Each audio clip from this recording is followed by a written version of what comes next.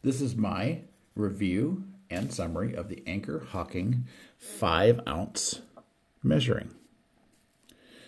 This is awesome for if you are measuring small amounts.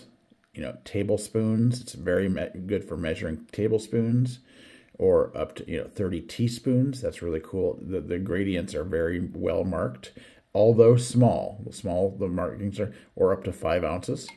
It is dishwasher proof. It is heat proof, so you can actually boil water in that puppy if you want to.